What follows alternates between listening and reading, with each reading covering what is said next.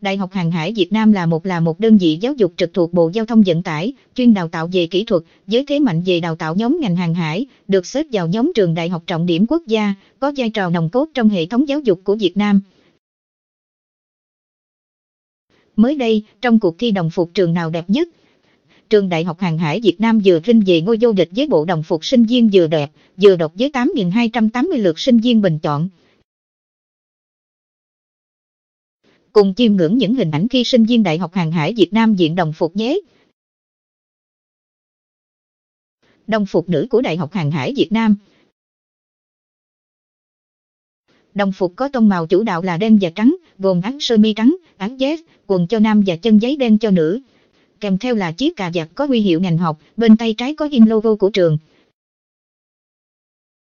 Thiết kế đồng phục của trường Đại học Hàng hải Việt Nam được đầu tư rất công phu. Đồng phục nam cũng vô cùng ấn tượng. Sinh viên của trường đều rất tự hào khi khoác lên mình bộ đồng phục truyền thống. Trường Đại học Hàng hải Việt Nam đã yêu cầu 100% sinh viên mặc đồng phục khi đến trường như một cách rèn luyện bản thân và làm quen với môi trường làm việc sau này.